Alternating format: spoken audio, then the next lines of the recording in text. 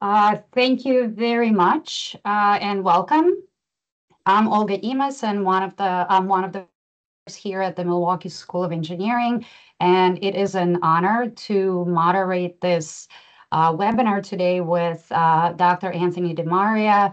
Um, as um, many of you know, uh, Dr. DeMaria ha has held a, a, number of very distinguished titles and played many very distinguished roles throughout his career. Currently, he is a vice president of the International Society for Cardiovascular Translational Research, among many other things. So it truly is an honor to moderate this event with him.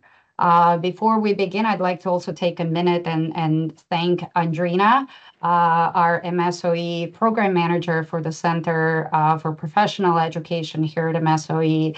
Uh, she has done a tremendous job putting this event together. So thank you, Andrina. On the agenda today, we have four uh, presentations from four domain experts, and they will talk about different topics in the areas of development of AI-enabled medical devices, specifically for medical imaging applications. Uh, and these topics really range from development-related uh, questions, uh, as well as regulation, reimbursement, and intellectual property processes and strategies after the presentations, we should have about um, 30 minutes or so remaining for a discussion and a Q&A session.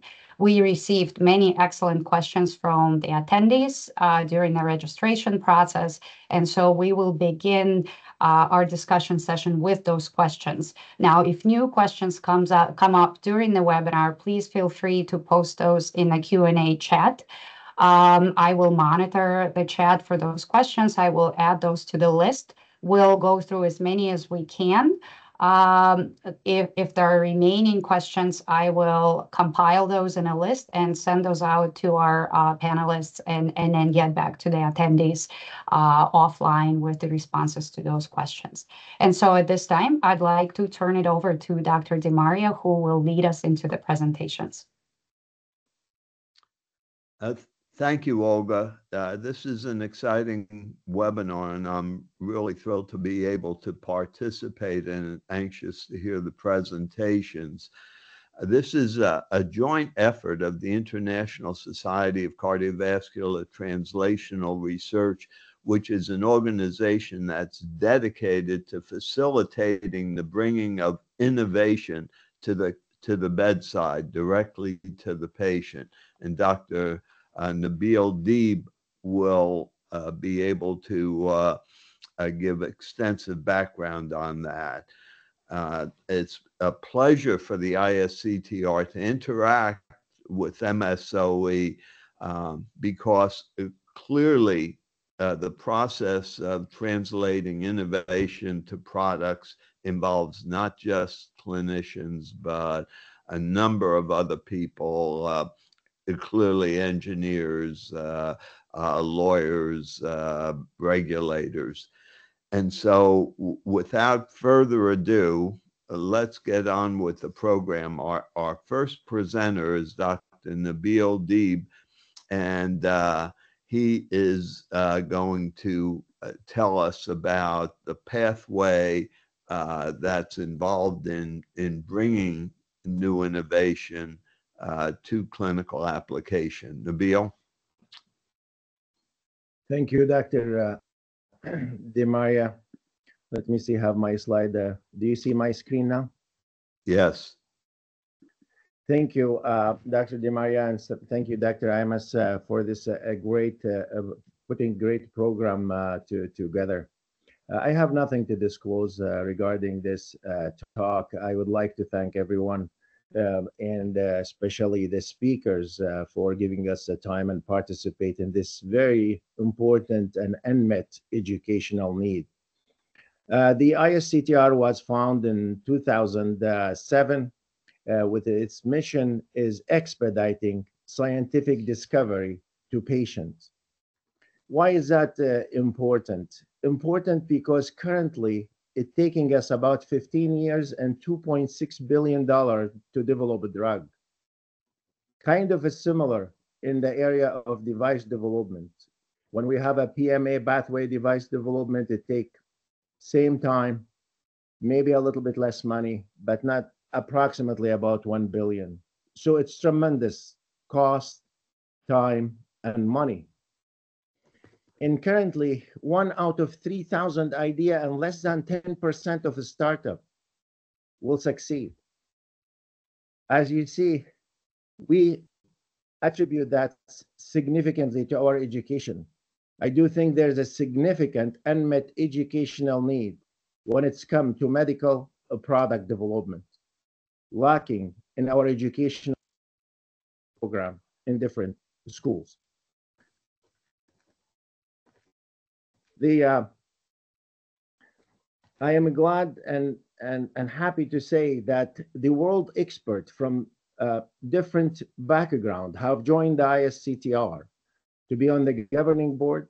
But in addition to that, we have over 100 experts from multidisciplinary background, academia, industry, regulatory, reimbursement agency, practice guideline, and patients, but all participated together to put a such an, a standardized educational program on medical device development. And currently we have online course, two online courses for medical device development, ebook, as you see, and journal that published by monthly by Springer Nature, all in one place and all focus on medical device development. And obviously we are adding the webinar, as you see today, is a perfect example of the multidisciplinary approach that's required for medical device development. In summary, this program will entail education on the innovation process, medical product development. It's fair to say that medical device development can be divided to two parts, the invention or the concept and the innovation or the translational process. Most of the scientists and inventor would agree that life experiences and exposure provide the raw material to the brain. And when we encounter unmet educational need, we use that material and redesign it to uh, provide the new concept or the solution. In matter of fact, everyone, according to their life experiences, can be an inventor and will provide a different idea for a problem. The real difficult part of the innovation is the process, is the translation. And as you see, that process contain multiple steps intertwined with each other. And this is the difficult part. This is the unmet educational need.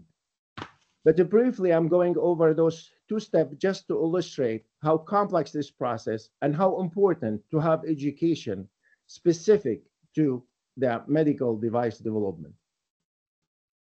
Usually everything starts with patient. So we have unmet need. We need to think seriously about the problem Albert Einstein said, if I had one hour to solve a problem, I would spend 55 minutes thinking about the problem and five minutes thinking about the solution. The minute we understand the problem, so we need to have a significant effort thinking of the problem to really provide a breaking through uh, development that to change the life of patients. It's not just a matter of iteration. Most of our innovation, as you know, 90 almost percent of it, iteration. It's not a breaking through technology that it change the life of patient. And we need to change our direction and refocus on the importance of innovation that is matter. And as I said, then we bring the concept according to the unmet need. And if you got, uh, give a problem to five different people, we'll provide you with five different concepts. The question, how do we choose? Which concept? We need to think about it as follow. When we have several concepts, we need to ask ourselves, with this concept truly needed, it's a, there is unmet need or there's a significant market for it. Will I be able to obtain intellectual property? Can it pass the regulatory requirement in terms of safety and efficacy? Would that concept get reimbursed if I have a product in the end of the day? And with the physician adapted. All those points need to be in mind when we have different concepts and we need to choose one. And that's how we think about which concept to proceed with, to spend the time and the resources. We need to understand, obviously, in our education, the alphabet of translational medicine, which is contain engineering language, basic science language, preclinical uh, language, um, and, and the clinical. So uh, in addition to understanding the manufacturing and prototyping, uh, one need to understand the preclinical model that is going to test such a technology. For example, if you are going to uh, a, a think or, or develop a device for uh, um, uh, septal uh, occluder, um, the animal model would be appropriate dog. It's not the pig because it's much closer to human. If we want to introduce heart attack in a preclinical model to simulate animal, uh, to simulate human diseases, the pig would be the right one, not the dog. It's very difficult to introduce heart attack and so forth. So we need to have some understanding on the preclinical evaluation. And when it's come to a clinical research, and it, it is very important to design the clinical trial in a in a way that reduce the bias and increase the evidence. And the endpoint have to be reasonable and important uh, from patient point of view.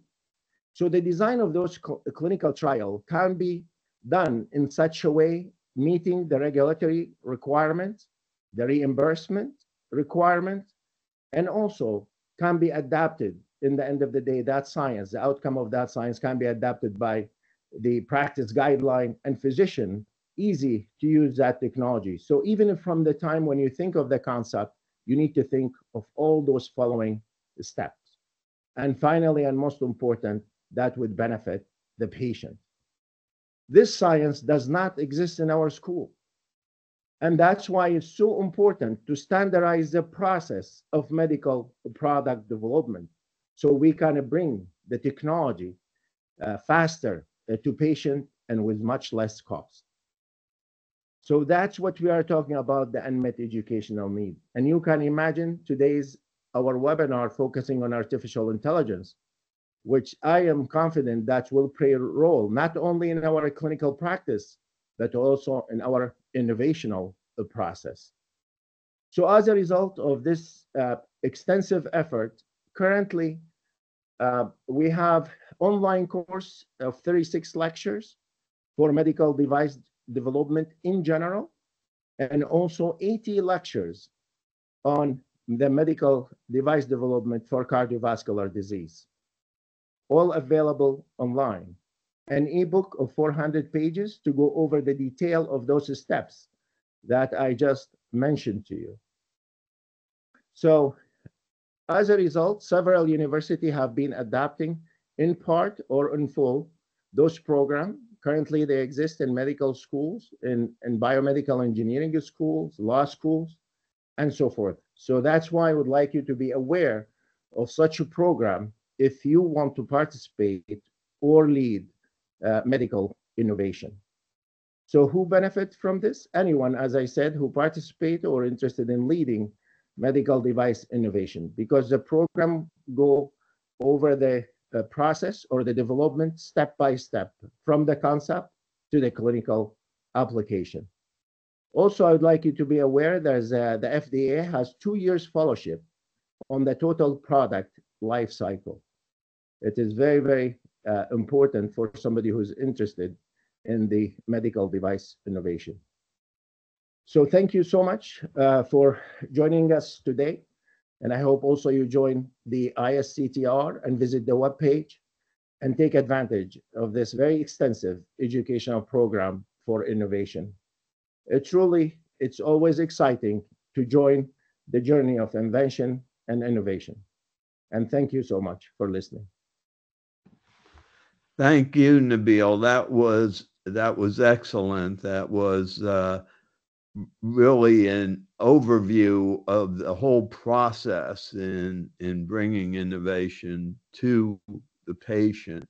And what better topic to talk about in terms of innovation is artificial intelligence. Uh, uh, really, you can't pick up a, a newspaper or a medical journal and not read something about artificial intelligence. Uh, it's either going to save the world or destroy the world. It's unclear which at the moment, but uh, it's obviously going to play an incredibly important role in medicine.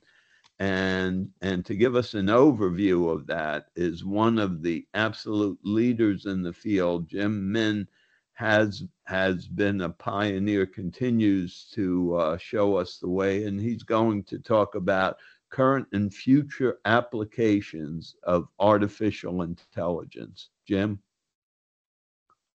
Perfect. Um, Tony, can you hear me? I can, very well. Okay. You, you'll need to share your screen.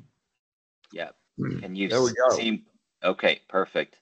Um, well, thanks so much. Like, um, and it's great to be here.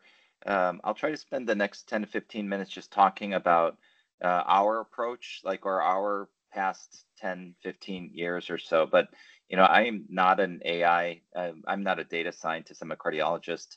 Um, I spent about 15, 16 years at New York Presbyterian Hospital, um, and I focused on prevention and cardiovascular outcomes research um, with the um, bend on I- imaging. Um, but as I and the journey that we took was just sort of iterative. We just um, whatever seemed to be the next step we took, and one of those steps was the um, embracing AI uh, about 12 years ago. And we came to it uh, realizing that it probably was going to be something very big, uh, not realizing how big it would be. But I think that you know what this figure shows you here is a it's a figure from the Journal of American College of Cardiology that just shows how it is truly going to revolutionize all of cardiovascular medicine like whether you know you're looking for new drugs whether you're looking for pinpointing individuals at risk whether you're looking for improved diagnosis and things like that um, it will have just innumerable applications. On the right side you can see like what we can utilize as the substrate of data to um, to develop those applications. And you know they range anything that you can possibly think of from you know the kinds of things that we get from biometric wearables all the way up to you know uh, deep omics and others. Um, our approach to this was really came out of the outcomes trials that we were uh, doing. And you know as i looked at this um, figure here, what you can see is that on the bottom is really all around the methods. And I'm a big proponent think of thinking that methods changes the world and uh, applications change human lives, right? So I'm not a data scientist. I'm not going to come up with a new approach to uh, AI, but what I can do is to try to leverage um, the AI uh, in the applications layer to really try to find something uh, that can benefit humanity and treat patients better. Um, I look at AI simply as sort of the the next step. It tends it happens to be a monumental step forward, but it's the next step towards a methodologic approach. And so I don't think of it as the device in and of itself, but rather a way that I can um, help try to develop devices that can help patients.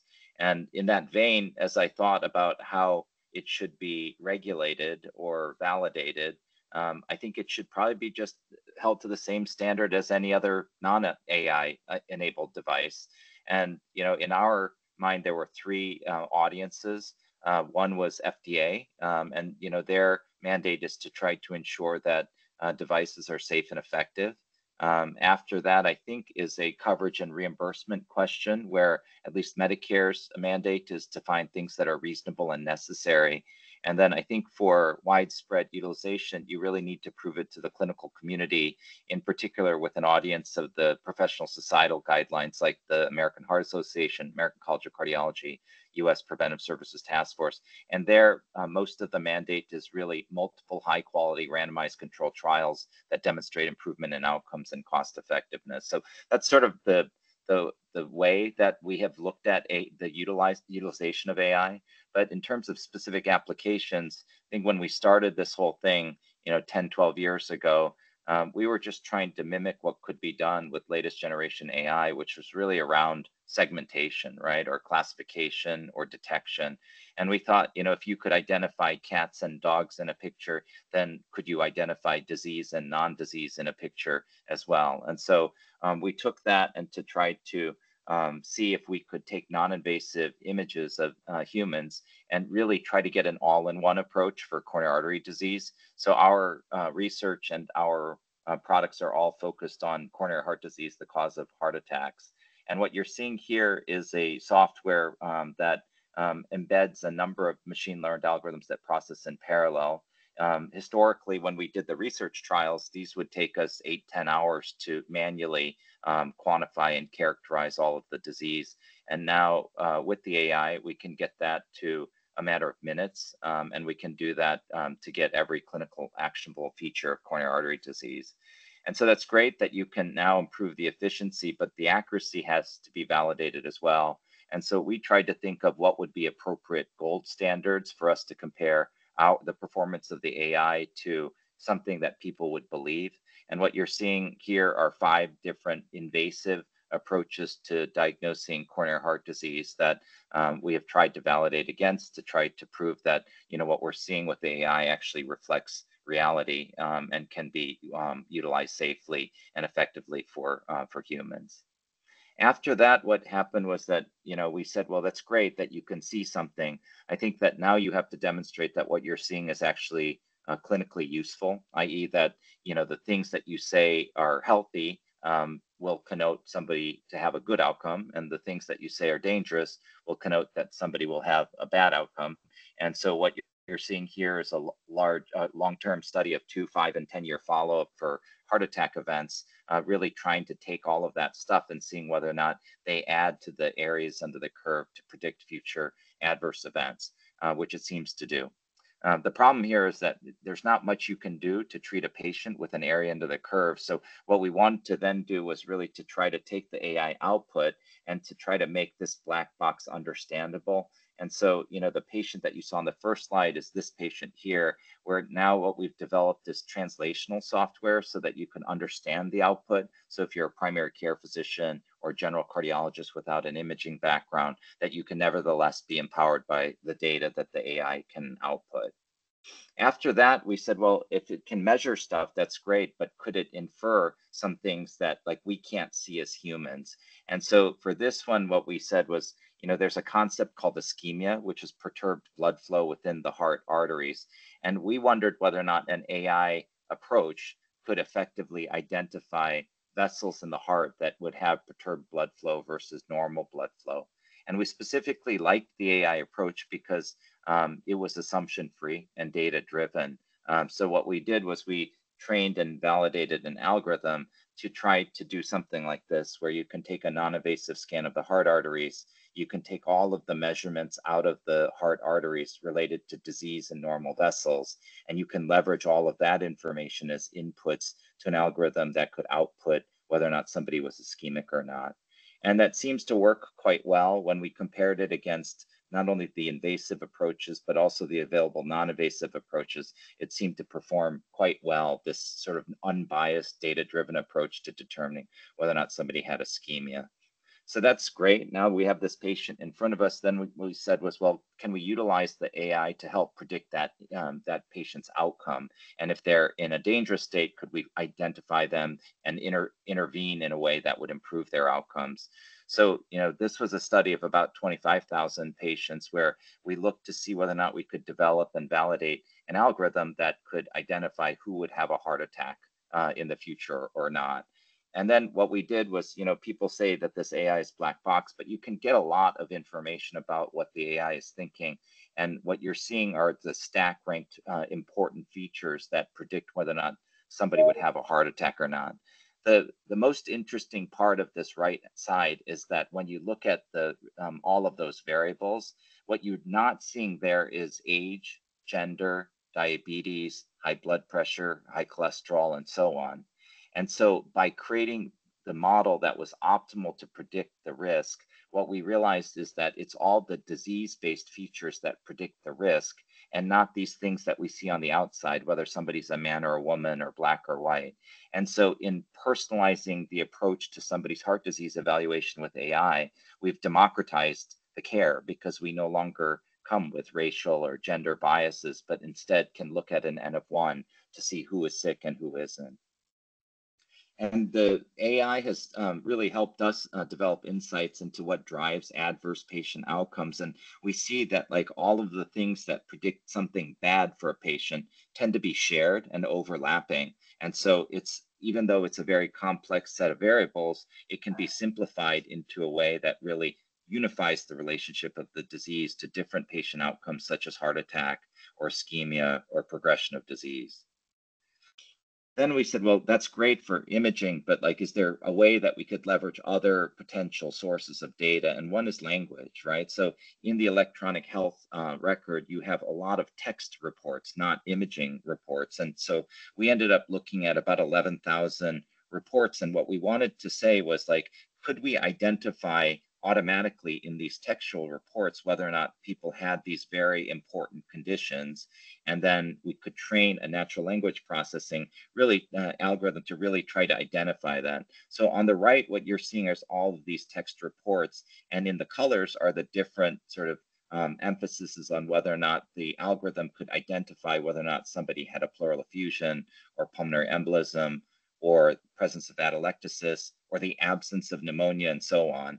And what you're seeing over on the left are the areas under the curve that demonstrates that a convolutional neural net um, can actually find these things and really properly diagnose whether or not somebody does or does not have those conditions. And when you put all of those into a different algorithm, what you can then do is prognosticate the outcome. So you could envision an AI algorithm going into the electronic health record, reading all about patients, and then determining whether or not uh, they're at risk or not. And then where I, I start to think a lot is like, as somebody who has focused a lot on imaging, I'm quite aware that there's like multiple dimensions of data that are extremely useful for helping to diagnose, prognost- prognosticate, and guide treatment decision making. And I think the one that I think might is unexplored in cardiovascular care is um, blood right? And so it's definitely been approached by for um, for multi-cancer early detection by a number of different companies. But I think that like if you look at the DNA, the epigenetics, the proteome, the transcriptome, the metabolome, and so on, that if you could combine all of those with the imaging and the language, that you could probably get this multi-dimensional assessment of a patient um, that would really try to help them. And so we started on that a little bit. We just did a proteomic study to try to identify people without any disease and people with disease um, or high risk disease just from a simple proteomic test.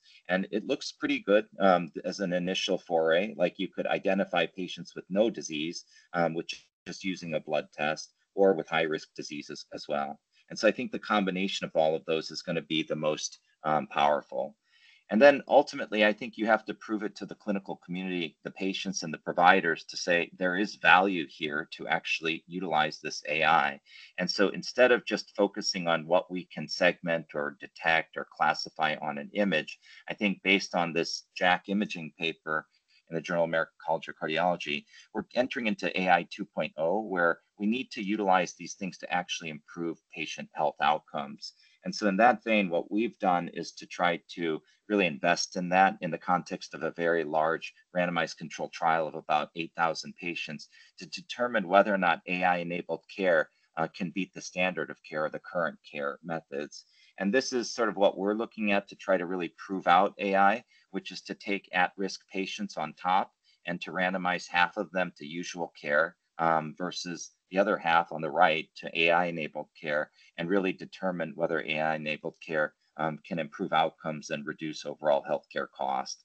And so I'll just leave it at that, that I think it's an exciting time. I didn't even have time to get into all of the potential applications of generative AI and how that will influence things, but this field is just moving very, very, very quickly. Um, I think the converse of that is medicine does not move quickly. And that's because you really need to validate all of these things um, for as, as safe and effective, as reasonable and necessary, and in the context of high quality uh, well-performed randomized control trials. So thank you very much for your attention and thank you for having me.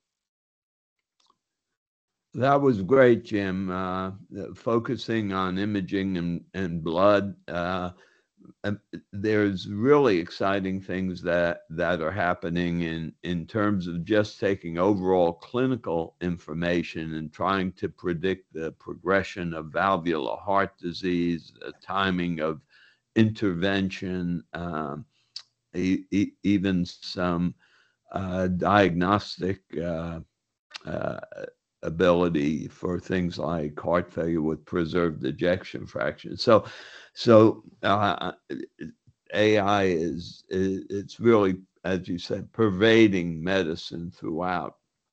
And of course, uh, uh, the question is, can it go too far? Can it be misused? Uh, we we've got to be sure that it's being applied in its uh, best possible way, and uh, and so to um, uh, to help us with that is our next speaker, um, Robert Ochs, uh, I, I'm calling it Ochs, it may be Oaks, is the director of the Office of Radiologic Health for the Food and Drug Administration.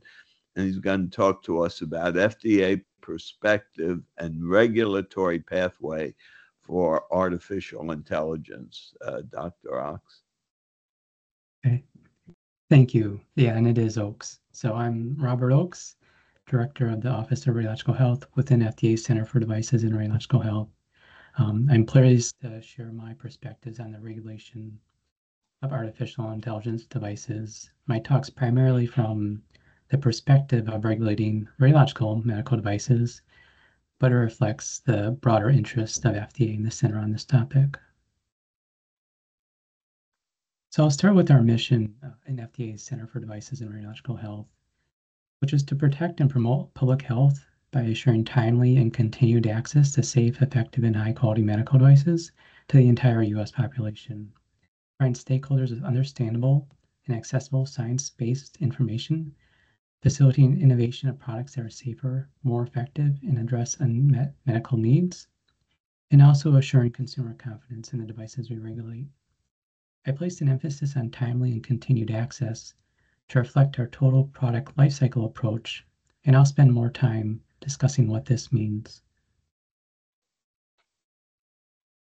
So to us, the total product lifecycle starts with pre-market activities that occur prior to a device being marketed in the US. For moderate to high risk devices, this includes an FDA review of a device's safety and effectiveness in the populations for which they are intended, and that the patients and consumers will have information they need to make informed decisions about their health care and quality of life. Post-market activities are part of the ongoing assurance of the safety and effectiveness of these devices and can include studies, uh, adverse event reporting and surveillance of reports, recalls, and inspections. Many of these activities occur within the same FDA review teams to promote consistent, informed, and timely actions so there are multiple pre-market submission types and pathways. I won't go into much detail uh, for each other than to say they are risk-based. Um, I also note that the very low risk devices actually aren't subject to an FDA pre-market review as long as they're following general controls which relate to good quality system practices, um, they can enter the market without a pre-market review. But most devices that are moderate to high risk do have a pre-market review process that they undergo. Most of these devices go through the 510K pathway, which requires a demonstration of substantial equivalence to a previously authorized predicate device. And the de novo is a first of a kind for a new product type. And once that's been granted, it may become the predicate for a future 510K device.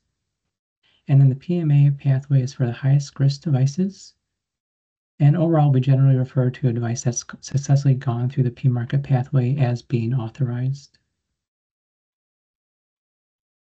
Now, FDA has authorized almost 900 AI-enabled devices.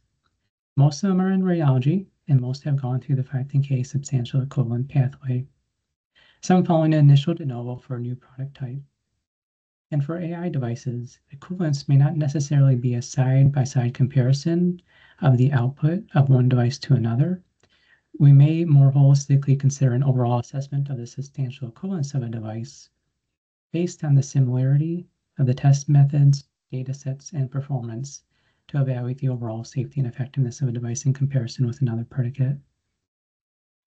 So FDA authorized radioactive devices um, are part of the whole imaging workflow. They're part of, they can be part of the image acquisition process, part of the analysis, such as tools to aid in segmentation and quantitative measurements. They can also be used for what we call triage or radiological triage, which is to prioritize a suspected time-sensitive case in the work list for physicians to review. It can also be used to aid in the interpretation, such as by the detection or diagnosis of a disease or condition by placing a marker on or placing a mark on the image of an abnormal region or assessing the likelihood of a presence of a disease for a radiologist or clinician to review further. So I'll discuss a few important aspects of the total product life cycle. Um, you know, first, when a new product, new pre-market submission is received, you know, the first question is, what is the intended use of the device? The FDA team wants to evaluate the developer's stated intended use or consistency with the device's input and output, and the information in the labeling and user manual. Many factors such as the intended patient population, the target disease, and the healthcare setting will be considered in evaluating the intended use. Now, many of the radiological imaging modalities are generally indicated, for example, CT, MRI, and X-ray systems are generally indicated for producing images anywhere in the whole body. But like the example I just mentioned, an AI device that's intended to aid in the triage of a time-sensitive finding or aid in the interpretation by giving a disease-specific um, mark on the image or score um, is intended for a specific indication for use, as we say. And, you know, for example, a device that may be indicated uh, to detect a breast cancer lesion or a lesion suspicious, suspicious of breast cancer or a large vessel occlusion. So knowing the intended use is really important because it guides FDA's assessment of what performance testing is necessary to evaluate the safety, effectiveness, benefits, and risks of the device. For AI devices with the disease-specific indications, we often will need some form of clinical data approach review team will consider what's whether best practices in the study design and statistics were followed in collecting and analyzing the data. And as a starting point for reference, um, I included at the bottom of my a, a, joint publication by FDA, Health Canada, and the UK's Medic Medicines and Healthcare Products Regulatory Agency, identifying 10 guiding principles for good machine learning practices. Um, there's also another up, a number of other guidances that are in progress um, or already published with more specific information and specific advice related to AI devices.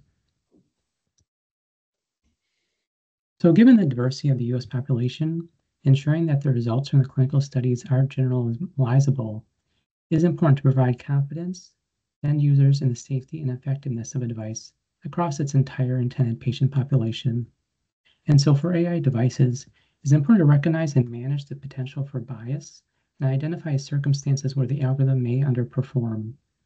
The review teams will evaluate where there are sources of bias from aspects of the data collection, patient demographics, clinical conditions, uh, the reference standard, healthcare environment could impact the generalizability of the device.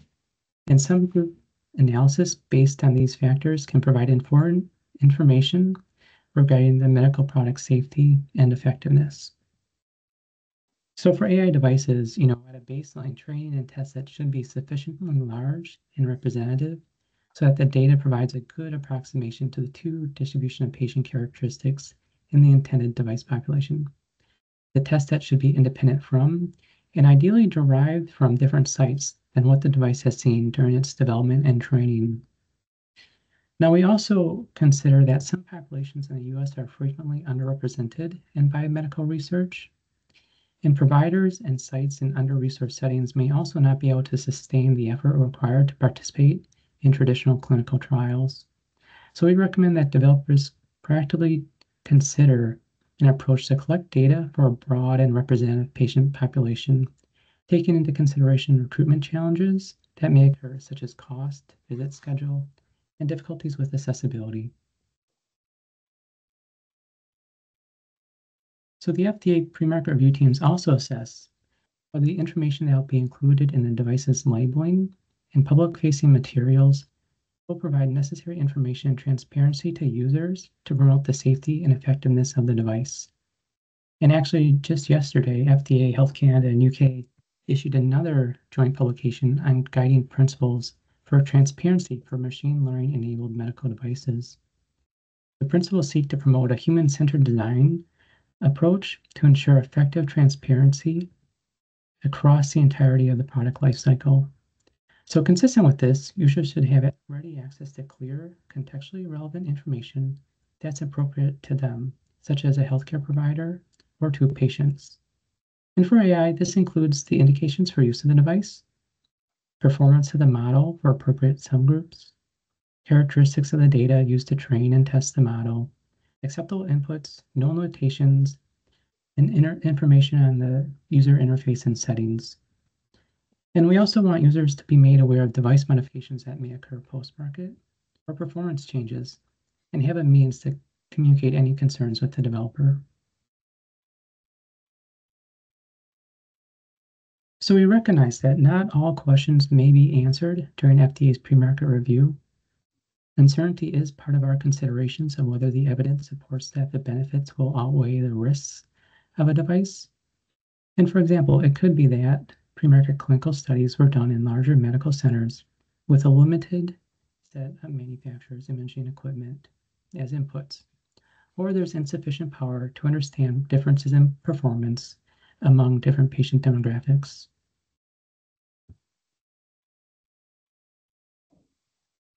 So as part of our total product lifecycle approach, we believe that leveraging post-market information can help address some of these unanswered pre-market questions and support an ongoing assurance of device safety and effectiveness, while also assuring and informing um, informing users of uh, improvements. So real-world evidence um, can help FDA and stakeholders understand how products are being used in different healthcare environments with different patient demographics, detect performance drift, evaluate the results of device modifications, identify opportunities for improvement, and respond proactively to safety or usability concerns. And real-world evidence may also provide the potential for larger and potentially more diverse data sets relative to data collected from clinical trials. So FDA is very interested in means to improve upon methods and initiate collaborations that will advance the use of real-world evidence for evaluating medical devices across the product lifecycle. And I'll illustrate this with an example. So um, FDA collaborated with external partners to conduct a study to evaluate several AI triage devices or intended to identify um, potential findings of large vessel occlusions. So this was done in partly because of high risk associated with this kind of device, and also our interest in trying to further our ability and learn um, best practices for trying to use real-world evidence. So the study showed that the triage device's performance was consistent with the manufacturer's stated performance for internal carotid artery and M1 vessels, but not for other potentially treatable intracranial vessel occlusions in second and third order segments. So prior to the study, the labeling for these devices did not provide a subgroup analysis by the vessel location. And this study informed discussions with manufacturers about labeling revisions and also informed an FDA communication to healthcare providers to raise awareness of the need to understand the indications of an AI device and the limitations. So the study reinforced the importance of transparency of the AI device's intended use, design, and performance-related information, and providing that to the end users. So before I conclude, I'll just give one slide to talk about some of the other initiatives that uh, and activities that are involved with as part of our overall mission. Um, so, you know, first we, we do have a number of strategic priorities um, to advance, you know, as I mentioned, the use of real world evidence and you know, also the commissioner talks about pragmatic clinical research, also to advance healthcare equity, whether it's inclusion, um, greater inclusion of populations in clinical research, and transparency of device performance. Um, you know, we're also actively working on guidances to the industry as a whole, or we, you know, actively engage with individual sponsors who are designing a clinical study prior to medical device submission um, or during the submission process as requested uh, to work to communicate FDA's um, or give FDA for FDA to give feedback on the study design that's being used or the metrics. So that in the end, hopefully it results in a successful submission to FDA. Uh, we're also actively collaborate with stakeholders to broadly discuss topics of common interest, such as standards for certain product types and sharing information. And we also set up networks of experts that are available for consults to FDA staff on general or specific clinical or technical questions. And on the research side, particularly for AI, we're very active in developing regulatory science tools to support the collection and analysis of high quality data for regulatory decisions, such as tools to identify and reduce bias, or to generate synthetic data sets as a means to increase data for AI development. So in summary, FDA takes a total product lifecycle approach to assure the timely and continued access to safe, effective, and high-quality AI-enabled devices to the entire U.S. population. FDA's pre-market review evaluates the safety and effectiveness of moderate to high-risk devices prior to FDA authorization. We also recognize the potential of leveraging real-world evidence post-market for monitoring the safety and effectiveness of AI devices. And beyond a single device review, our strategic priorities seek to further our mission through research, guidance, and stakeholder engagements. With that, I'll conclude and thank you.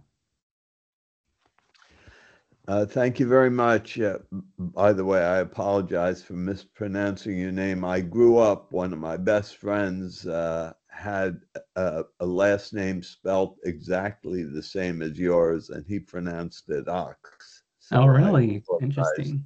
yeah. Um, and, and, I think you've really made an excellent point. We, when I I first started out, the FDA was viewed as a barrier to overcome, and now it's really become a partner in the uh, development of new technology uh, throughout, as you say, the product lifestyle. Now, it's uh, important once uh, a device has been shown to be safe and, and effective uh, to ensure that it gets reimbursed. Devices that are not reimbursed uh, never get utilized. Uh, and so to discuss that uh, for us is, is uh, Joseph Hutter uh, to give us the CMS perspective on reimbursement uh, for AI. Uh, from the Centers of Standards and Qualities of CMS. Mm-hmm.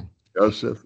Hi, how are you, everybody? It's great to be here. Uh, can you hear me fine?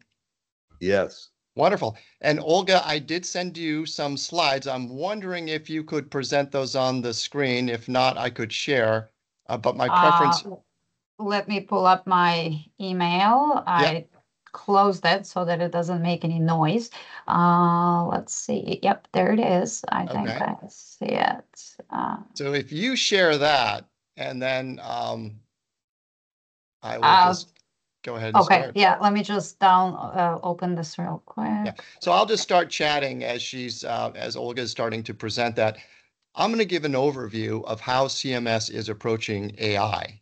I'm from the Coverage and Analysis Group, or CAG, which is in the Centers for Clinical Standards and Quality, CCSQ, just mentioned. And I got input from colleagues across uh, CMS, including the Center for Medicare, CM, on their payment processes. So coverage and payment are separate, but they do but they do connect as, as well. And I thought it might benefit you to hear a little bit of both. So uh, here's the uh, slide two. Here's the disclaimer, uh, which is written by lawyers for lawyers. A slide three. But this uh, emphasizes that my views um, are, are what are going to be discussed today, no, not those of the U.S. government. Right now, there are AI working groups at all levels of HHS and within CMS. Uh, we also talk to the MACs regularly. I do that on AI issues. We are very early in this process, and so my talk is probably going to raise more questions than it answers. Um, it's intended to be helpful, but it does not present any new CMS or HHS policy. So uh, briefly, I'm going to be giving an, a brief overview of, of uh, AI, um, AI time uh, through the uh, story of the narrator. narrator. I'm going to give an overview of the CMS coverage and payment processes, and then focus on the same concrete example that was already shared by my FDA colleague. Slide four. So in the 1990s, the largest funder of AI research in the world was the US Department of Defense, specifically the Navy. And then it was the National Science Foundation, where Paul Werbos worked. So Paul was a government employee whose PhD dissertation on computational neural networks in 1974 launched the field that we call artificial intelligence. Paul didn't use the word neural networks or backpropagation.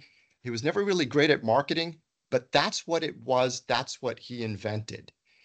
AI was then popularized by psychologists David Rumelhart, James McClelland, and by Geoffrey Hinton and others. They all made great contributions.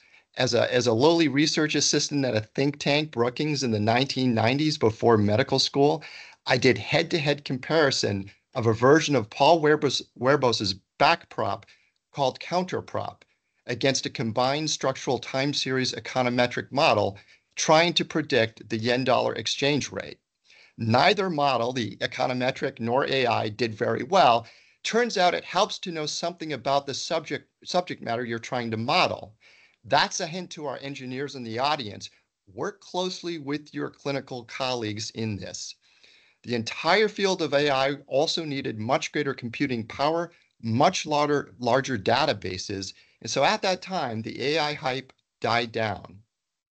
Fast forward to circa 2016, 2017, it was standing room only at talks on AI at annual meetings of the American College of Radiology and RSNA. Everyone at my speaker lunch table uh, was buying NVIDIA stock. I, I did not, of course. Um, and that's because it was the only chip at the time that could support AI computations. There were a few key government working groups. Dr. Ochs from FDA, others, and I co authored a white paper for one of the early ones on imaging. And in 2020, a national AI policy was unveiled. Why was AI now taking off again what had changed? The underlying math had not changed. As one speaker from the University of Chicago had stated, artificial quote, artificial intelligence is really just dumb regression analysis, but with many layers and lots of data. But now, unlike the 1990s, computing speed had vastly increased and there were larger, more homogenized databases, although experts would say not enough and especially not enough for healthcare. Standardization was a major issue as well. So, what did AI actually achieve at the time? It could distinguish between cats and dogs, a famous example of a keynote talk, and which was mentioned by Dr. Min earlier. But in the early days, it did less well at distinguishing, say, uh, between a breast and a hand on an X-ray because of the famous edge detection problem. As a result, then there's there's a lull that sets in for a while, and smart folks charged with applying AI inside healthcare systems are telling their CEOs, think of AI as a tool, like a shovel or a pickaxe. And in that context, yes, it's useful for solving some narrow problems. It may augment what staff does and make them more productive. It won't replace them. Recently, ChatGPT was like a big rock dropping into a still pond. It captured the imagination of the world and every generation and converted some initial skeptics, such as expert Peter Lee in his book, The AI Revolution in Medicine. This is bringing attention to the good ideas for very targeted, specific clinical applications that can be tested in trials, which is a major point that Dr. Min just presented in his talk. So slide five. That's the backdrop. Now we're going to walk through the nail biting tale of coverage and payment at CMS. That journey actually begins at FDA. Have an update to this slide already. Change 700 to over 880. I think Dr. Ochs mentioned there were 884 um, AI related devices that have been approved or cleared by FDA. When I found out uh, about these, these large numbers, my first question, and I thought it would be one of yours too, was okay, roughly how many of these are paid for by CMS? Turns out that that question can be answered, but not easily. There is no leadership dashboard tracking such numbers that automatically populates on a recurring basis.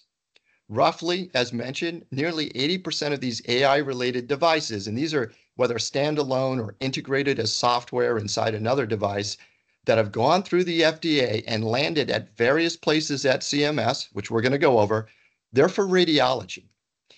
So if an item or service is FDA approved, the default payment vehicle, if there is no national coverage determination, which we're going to go over, is the local uh, Medicare Administrative Contractor or MAC. So most payments for most things are happening at that local MAC level.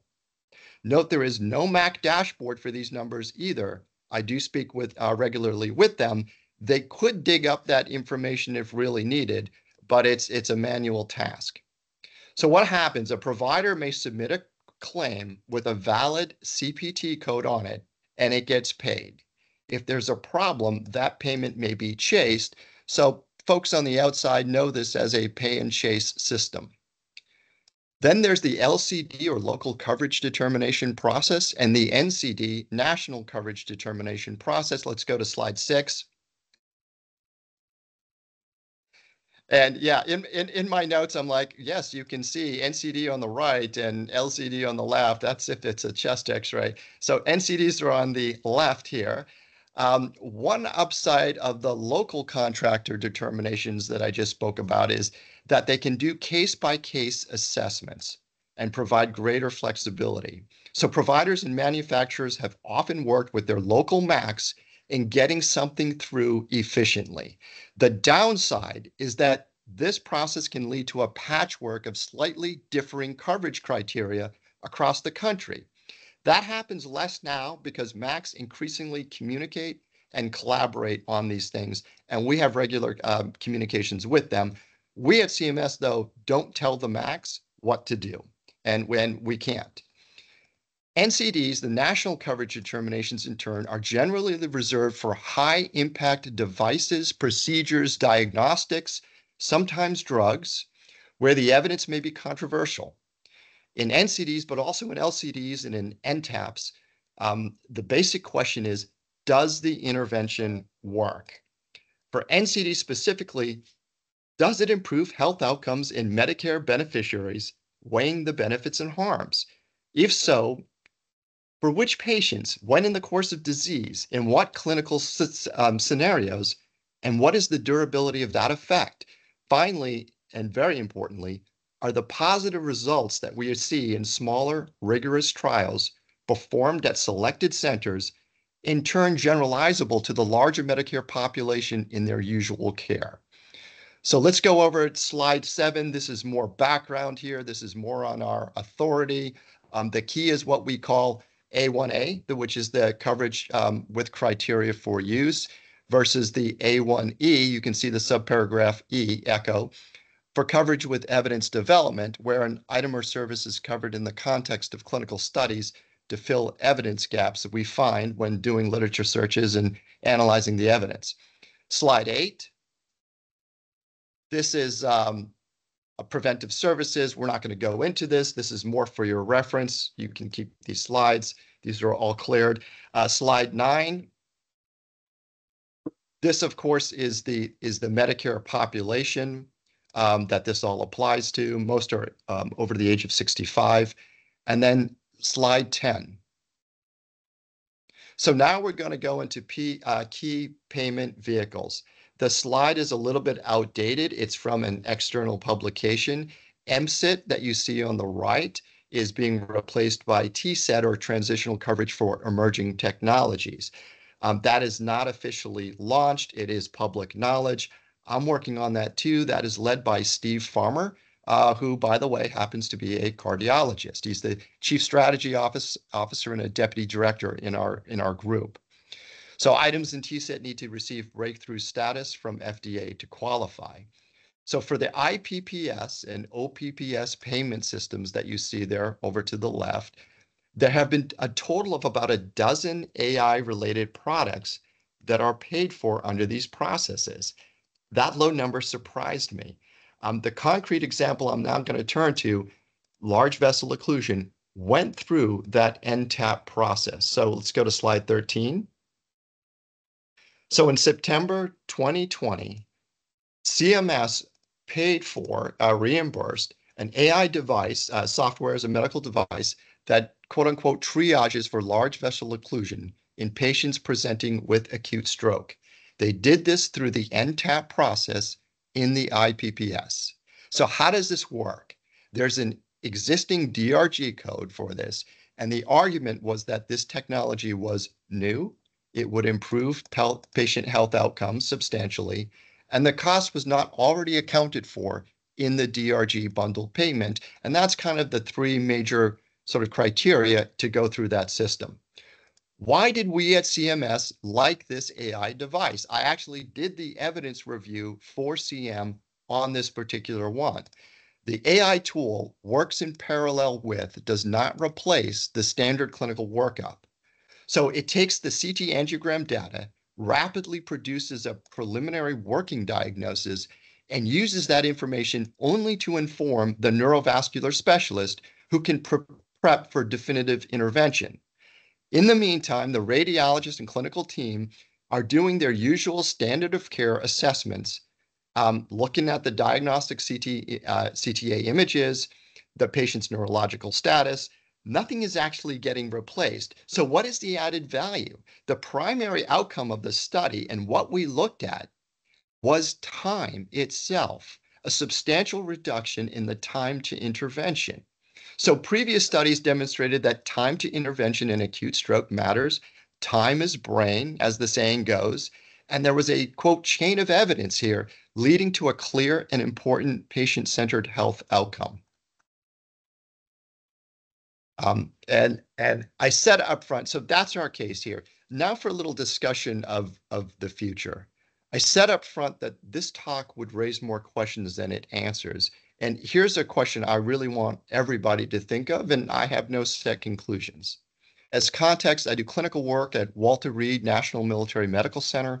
A group of us were sitting around um, we have the Genesis EHR for the entire me uh, medical um, military health system. It's also for the VA. And we were thinking, how can we use AI as a shovel or pitchfork to streamline processes, do quality checks, offload burden from the clinical team, not replace them? A lot of good ideas. A bigger question arose, though. Um, is every AI application that improves system efficiency or quality really appropriate for fee-for-service payment? Now we know that didn't happen with PACS when radiology moved from film to digital um, platform. Granted, there were um, short-term offsets because the costs of films and film libraries instead went away. I was in a healthcare system. We invested in PACS because it improved efficiency, quality, reduced burden on radiologists, and it wasn't a payment payment gimmick because the, there was no payment code for it for it, right? There was no NCD, National Coverage Determination, no NTAP payment for PACS. There were some financial incentives that went through either statute or regulation. I can't quite remember that. Um, and there was going to be reduced payment for old-fashioned film and lightboard techniques. So there's sort of a little bit of carrots and sticks that existed at the time. But it was a never a fee-for-service payment that drove widespread diffusion and adoption of this innovative technology, the PACS reading station. At the same time, I think we would all recognize that this ought to be balanced with the idea that you don't want to punish innovation that seeks greater efficiency by saying, congratulations, your investment paid off. So now we're going to suddenly and substantially drop your payment to physicians. So that's the balancing consideration going forward. I know uh, if Louis Jacques is on the phone, he's got some some thoughts on this, and I invite him to chime in later as part of that uh, that discussion. That concludes my talk. Uh, next slide. Uh, sorry, let, uh, next slide. Just thank you. Yes. Okay, well, uh, thank you very much. You really put that in perspective, and I uh, apologize for not introducing you as Dr. Hutter. Uh, um, it, No, that's fine. And I have The- various titles which I don't use. And it's it's whatever our group director, Tamara Syrek Jensen, decides will help me get best promoted in the United States Public Health Service, which I'm also a member of. Uh, but that's that's no matter. Well, I'm sure there's going to be a lot of questions about reimbursement. But moving on to our our last aspect uh, of this, uh, we turn to Matthew Chan, um, uh, Dr. Chan, a PhD, who's a, a technology uh, expert, uh, and he's going to or technology specialist, and he's um, going to talk about IP protection for AI-enabled medical devices. Uh, an important concept. We got to got to protect our IP. Yeah, thanks for having me. Um, can you hear me and see the slide fine? Yes. Great. Yeah. So as mentioned, I'll speak a little bit about IP protection um, for AI-enabled medical devices. Uh, just for a little bit of background, I started off as an engineer, uh, did my PhD in AI in the healthcare space, working on machine learning models for uh, stroke risk prediction in, in Chinese populations. And then um, I kind of transitioned into uh, patent law, where you know for the last uh, seven or so years, I, have helped uh, companies sort of build patent portfolios, protect their intellectual property, um, including many companies in the medical device space. So I'll give a bit of a start with a bit of a brief overview on intellectual property in general or IP. Um, there are four main types of IP protection. Uh, first, you have patents. Uh, you have patents, you have trademarks, copyrights, and trade secrets. Uh, for patents, there are a couple of types that are relevant in this space. Uh, there are utility patents that uh, cover useful processes, machines, articles of manufacture, compositions of matter, um, any, any improvements to those. Uh, that's probably what you generally think of when you hear about patents. There are also design patents, which cover the way things look, basically the ornamental design. Um, today's talk will focus mainly on patents, but just you know, for completeness, I'll briefly touch the other uh, areas of IP that you might be thinking about uh, as you're you're creating new products, creating companies. Um, Next, you have trademarks. These protect the words, phrases, logos, product configurations, packaging, um, and they, they identify a source of origin. Uh, so kind of your company as a source of origin. Copyrights, these protect, uh, protect particular expressions of an idea, uh, but not necessarily the underlying idea itself. So you may think about copywriting, you know, certain um, you know, user manuals or, or, written materials that you have along or artwork that you may have um, on the packaging of a product. For trade secrets, these are commercially valuable intellectual property that are kept secret and they give you economic benefit uh, because the information is not publicly known.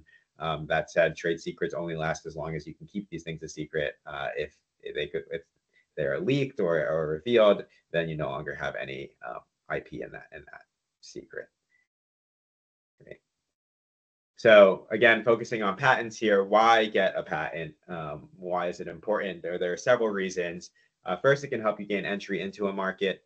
Um, it can, you know, a patent doesn't give you the right to practice something. It gives you the right to exclude others to practice your invention. Uh, that said, it can, you know, if you're the first to patent an idea, it can make sure that others are not patenting the same idea and preventing you from entering that market. Um, the patent can also allow you to exclude others um, from coming to market. This is the primary purpose of the patent. Um, and third, it can allow you to use, uh, you can use the patent as a bargaining chip to exchange with other companies for use of their IP. Uh, so say someone else is operating in the space and you would really like to use their technology um, and, and, they'd like to use yours, you can work out a licensing deal uh, and, and, it gives you kind of more um, power at the negotiation table.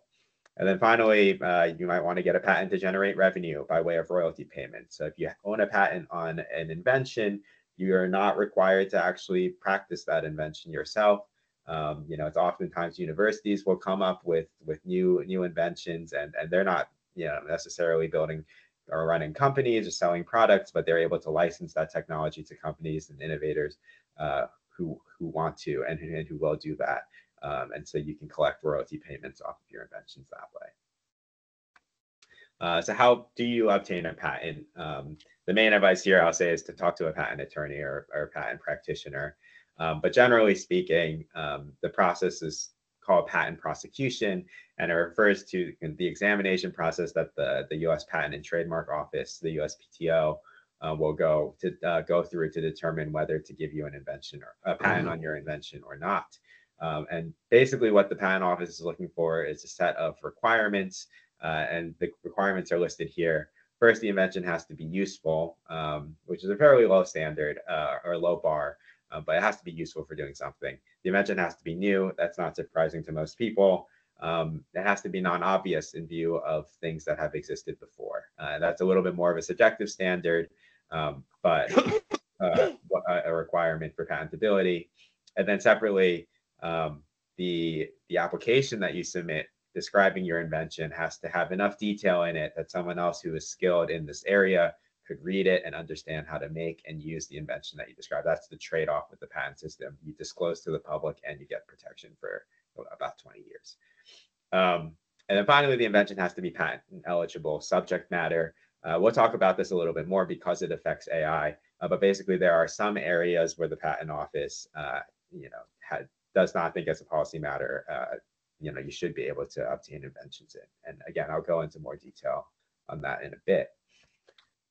So when should you apply for a patent? Uh, you'll want to consider filing as soon as possible. Um, you know, there's no need for you to for, for your invention to be physically reduced to practice. You don't necessarily have to have made a working prototype. Um, as long as you can describe in your written patent application with enough detail again, so that someone who re read that, who had skill in, in this area would know how to make it and use it. Um, that's enough to file your patent application. So uh, you should you should try to file early um, to get in in front of anybody else who's working in the same space and might try to patent or disclose something similar. Um, you want to file your patent application before you make any public disclosures uh, because those public disclosures can keep you from patenting uh, the invention yourself. Uh, things that count as public disclosures uh, include any you know, publications, including preprints, um, public presentations, demonstrations, selling your product, uh, even releasing a feature of your product. Uh, even if someone can't like figure out how it works, how you know the underlying software, if you're releasing a feature, that's considered a public use. Um, in the US, there is a one year grace period. So if you mess up and you kind of release a, a feature or you publish a paper, um, you do have a one year grace period in the US to file your patent application. And that disclosure won't count against you. Um, it's not necessarily the same in other jurisdictions. So uh, again, best practice is to patent first uh, before publishing. Uh, finally, if the ideal, the details of the invention are likely to change or, or develop a lot within the next year, uh, one thing you might consider is filing a provisional patent application.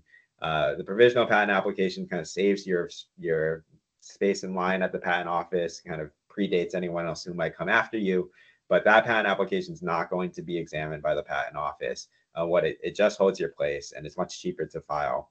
But what it allows you to do is within a within a year, you can, as as details change um, and are developed, you can then convert that provisional later into a full utility patent application that is examined, and you're able to put that information into the patent. Okay, um, uh, one slide here on filing for patents internationally. Um, most of this presentation is US focused, but um, patents are jurisdictional. So a patent, you know, US patent only prevents um, others from, only gives you the right to prevent others from making, using, or selling the product or importing the product in the US. Uh, so you need to, if you're thinking of operating internationally, you need to have patents in other countries as well. Um, there are a couple approaches here. One is to file foreign patent applications in the individual foreign jurisdictions you're, you're interested in, you know, um, getting protection in. Um, you those foreign applications within one year of your, your earliest priority date, which you know here might be the first time you file your US application. Um, and you've got to go through an analogous process of trying to get your patent in. It could be the Chinese patent office or the European patent office, or Japanese patent office. Uh, and, and there are fees associated with all of those. Uh, second uh, approach here for filing internationally is to file what we call a PCT or Patent Cooperation Treaty application. Again, has to be filed within one year. Um, and this is sort of an international placeholder uh, for your filing date. So rather than immediately going into a certain set of countries, maybe you don't know which countries you're going to have the most, which countries are the most important markets for you. What you can do is you file this PCT application. It's just one application with a fee, and that holds your place. It gives you um, it gives you basically 30 months uh, for your priority date um, to decide which countries it is that you want to ultimately uh, enter into uh, into prosecution. So it kind of buys you a bit of time. Um, it's a convenient way to keep your options open uh, before deciding which countries to pursue applications in. And potential disadvantages, um, it is an additional cost to filing that application, and you will still have to pay the cost for the individual countries. Um, and it can also delay the start of prosecution because that that application itself is not examined. Um, so uh, if, you, if your goal is to get patents issued really, really quickly, uh, then you may just want to go directly into the, the individual countries. Okay, um, moving from just the background on general IP and patent law, I'll speak a little bit about, you know, uh, specific issues in, in the AI-enabled medical device space. Um, so there are a lot of different areas and, and, perspectives that you might think about patenting technologies in this area from. And so you want to be creative about it. Um, you can patent the medical device itself uh, the whole thing. You can think about patenting particular sub-assemblies or components of the medical device. Maybe there's a particular component that's going to be manufactured by someone else where they're not making the whole product, but you want to be able to stop them from making a component that you need that you need to use in your device. And so you can patent that component. Uh, it can kind of in, increases the ability of you to enforce and protect your IP. Um, you might protect methods of training an AI-enabled medical device or methods of using the device kind of for inference. Um, you can protect the AI architectures and, and methods and trainings of use I discussed. Uh, you may also consider uh, protecting or, or, claiming computer products that store instructions, basically software for performing the AI method. So now you not only protect sort of the AI architecture itself, say, but a computer, um, so a user who is running the code on, on their device. Uh, and, and you can kind of group them into your, your group of your infringers who you can collect damages from uh, if there is infringement. And then finally, you can think about patenting the computing devices that perform the AI method, um, which may be, again, external to, to the device that it's attached to. Uh, so again, the, the general point here is, is, to think creatively about who are the, the different players in the field and what are the technologies that they'll be implementing as it relates to your invention. Um, and then finally, some yeah, special considerations as a legal matter. Um, one area that a lot of people uh, have questions about is this Section 101 subject matter eligibility. Again, as I mentioned, there are some you know technologies that the Patent Office just takes the position that they're, they they shouldn't be patentable. They're kind of fundamental kind of building blocks of science, or they're just abstract ideas. And so software gets into that space, and AI in particular, because oftentimes we claim software generally, right? We talk about what the software does, and it might be a process that people have been doing for a while, and we put it onto a computer. And, and that's what the patent office is really kind of hesitant to give patents for. Um, they don't want you to just patent things that people have, you know, have been doing uh, for a long time that you've just implemented on a computer. On the other hand, you can patent something that's more narrow, but um, you know, as you know, there's there are so many ways you can implement the same thing using software that it might not be as valuable of a patent for you. So there's a balance to be struck here. Um, there are some things that you can do to, you know, this is not to say that AI patents in general will never get allowed. Um, there are certainly things that you can point to to kind of increase the the chances that your your patent application is allowed. Um, and the things there, what the patent office is really looking for is kind of technical improvements that you know technical changes implementation details that you can point to that lead to practical advantages um, so it's not just say i use this out of the box model on this new data set and i have, was able to do this um, things like architectural differences or like implementation you know details that were not obvious that you dis- that you discovered that helped you get a better prediction than say anyone else in the area. Um, those are the kinds of things the patent office looks for for that subject matter eligibility. Um, an interesting question that a lot of people in the patent field have been looking at right now is whether AIs can be inventors, um, especially now with generative AI. You know, uh, people are using tools like ChatGPT to come up with ideas and, and to suggest things. Uh, and you know, people have been asking, can can ChatGPT be an inventor on this product with me if, it came up with the really salient idea? Um, currently, AI cannot be an inventor in the U.S. Uh, as a legal matter. Um, an inventor has to be a human who contributed to the conception of the invention. Uh, so, you know, and, and this is mostly a, a, statutory thing. It's not kind of a philosophical uh, position on whether AI can be inventive. Um, at least for now, given the way our statutes are written, we require human inventors.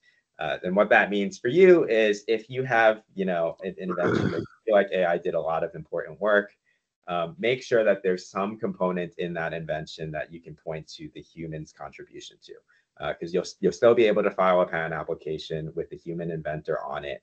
Um, it, it, it, they don't necessarily have to be the the only who you know have contributed everything to it, um, but as long as they've contributed something meaningful um, to the invention, they will count as an inventor, and you can file your application because you need at least one inventor listed. Uh, finally, for detecting infringement, um, an important thing you know to think about in this space is, a well, you can think about this from two sides. Uh, one is the detecting infringement. So you know, oftentimes you won't have access to the software that your competitors are actually implementing, and it can be difficult to tell if you just look at their product. Like, are they using the same algorithm that I've developed here? Um, and that weighs on how valuable your patent is. If you can't tell if someone is infringing, it doesn't necessarily matter or help that you have this this patent for for the algorithm. Um, similarly, when um, you know you are you are are are deciding whether or not to patent a technology, if it's very difficult for your um, you know for your competitors to figure out what software you're using uh, and how exactly your your device works under the hood, um, maybe think about keeping that as a trade secret and not filing a patent application where you have to disclose that uh, to the public uh, if that's the secret sauce for your, your device. Um, I'll stop my short presentation here. Um, again, my name my name is Matthew Chun. I've left my contact information here. If you have any questions about patenting technologies and um, you know invention that you've come up with, uh, feel free to send me a message. Uh, always happy to talk. Thanks. Thanks, thanks a million for a very clear presentation. These uh, actually all the presentations even a cardiologist could understand most of them, um, which uh, is is saying something. Now, I'm not sure that would apply to a radiologist, but at least a cardiologist can. Olga, I'll turn it over to you to begin the questioning. Thank you. Thank you, everyone, for wonderful presentations. Um, so I have a quick question for Dr. Chan. I was um, really intrigued by um, AI not uh, being an inventor, at least in the eyes of the USPTO. I'm just curious with sort of the emergence of ChatGPT and all these other tools that we all use these days, has USPTO seen an increase in patent applications related to some novel ideas and things like that?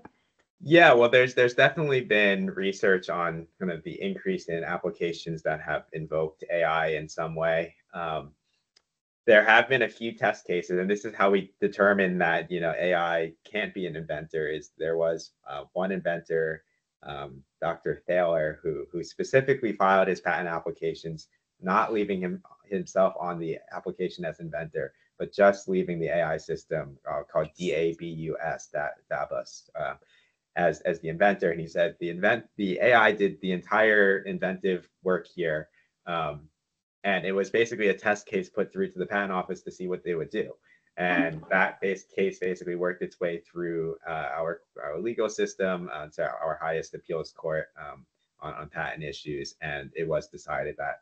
Uh, at least under the way our, our patent laws is written right now, AI can't be an inventor. Um, but uh, there's still plenty of patents and, and, an increasing number of patents directed towards AI technologies and probably technologies where AI had a substantial role in coming up with the invention. Again, as long as you have some human contribution there as well, uh, you're not prevented from patenting it entirely. Yeah, that that's a very, very important point uh, Mhm. to make. Um, so I think um, I'd like to open it up to our live audience in case there are questions. Um, I don't see any raised hands, and I'll just give it a second if anybody would like to ask uh, a question directly. If not, we do have a list of questions that we can go to. And yes, In the meantime, I will, I could just, while you're waiting for those to, to, to percolate up, um, I could comment on what was just mentioned, right? About does Yes. it, does it augment or does it replace, uh, um, the physician?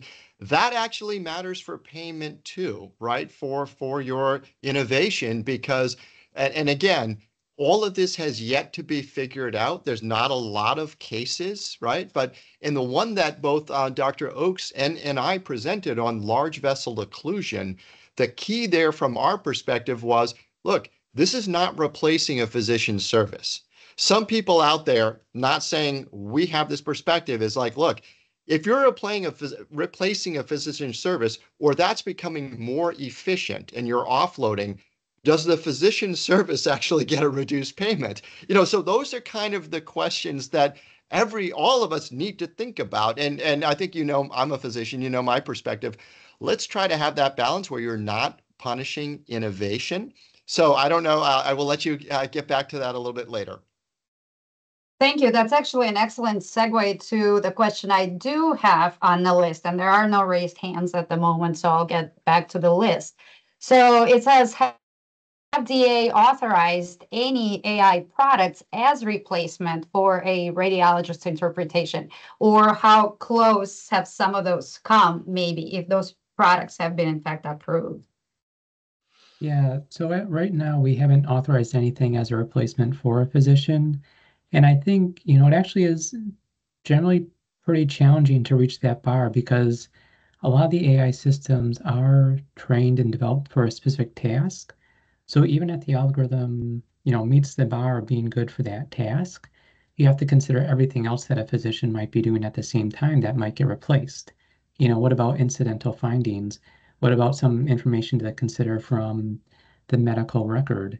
And so, you know, doing a doing a specific task is one thing, but replacing all the potential tasks that a radiologist will do is quite another. So I don't think we're quite um, that close yet to doing it, to fully replacing radiologists radiologist for even a you know one task.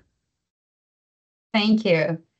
Uh, so what are some of the key things, if you will, or outcomes that technologists and radiologists need to be seeing from AI in order to trust it and use it, right? The question is a big question we have with AI at the moment, right? With the abundance of AI tools out there and the speed with which, you know, all these tools come up every day.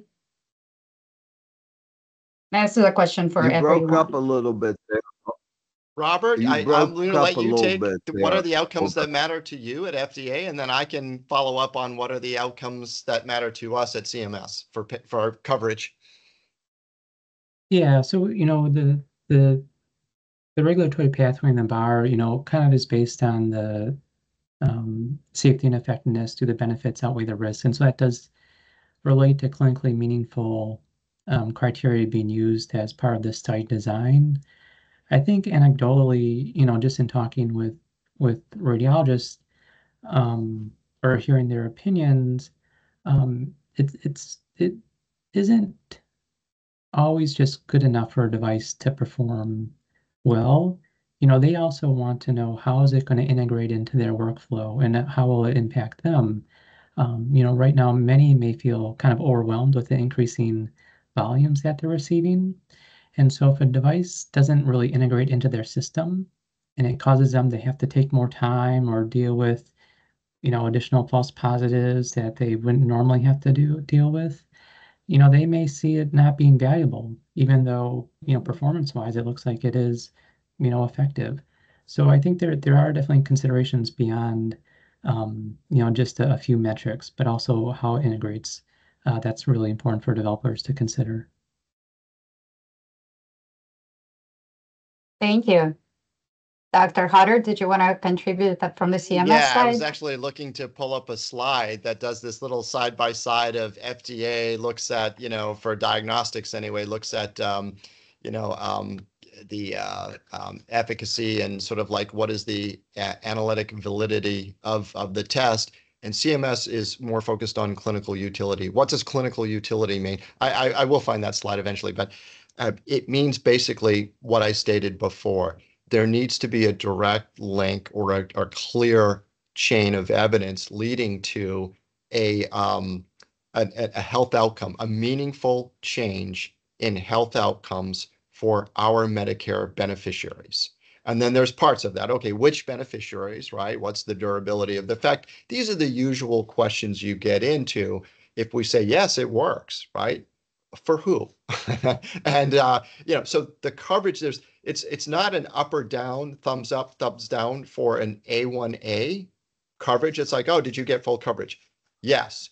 It always comes with criteria. That criteria comes from the major inclusion and exclusion criteria in the trials that you all in studies that you all produce.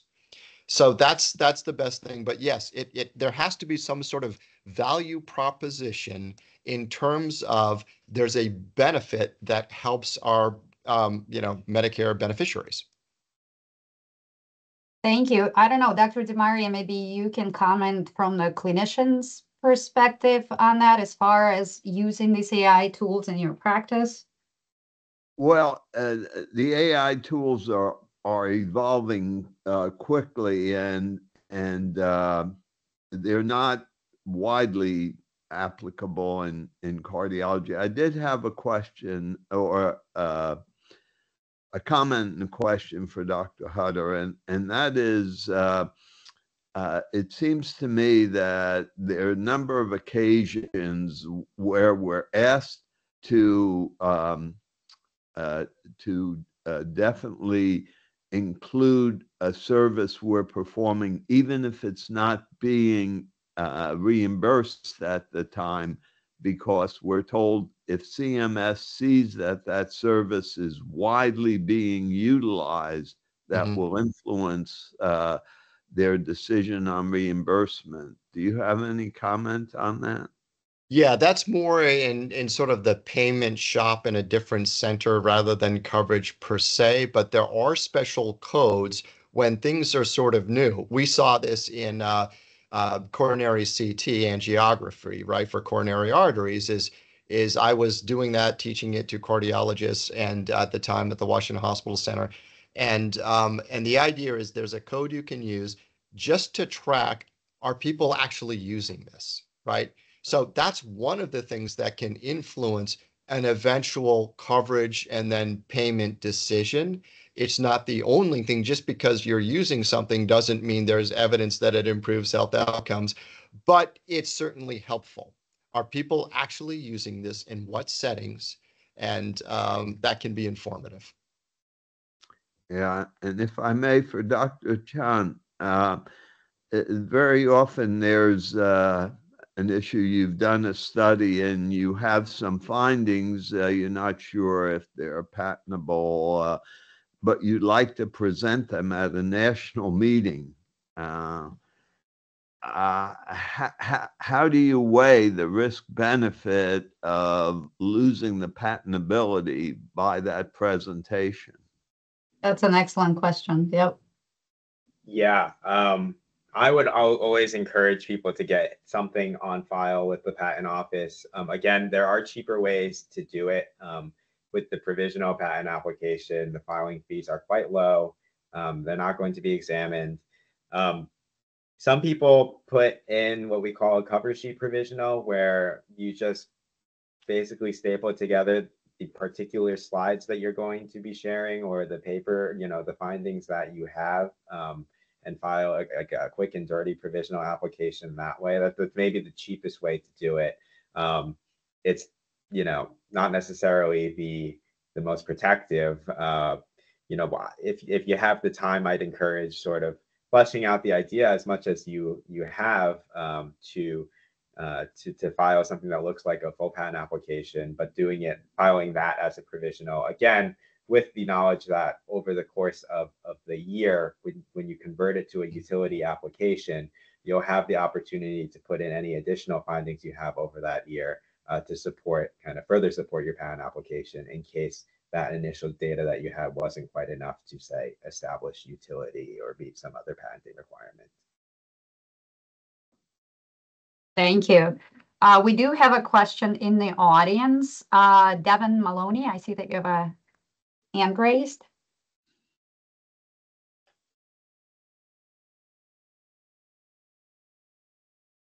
I don't know, maybe it's by mistake or.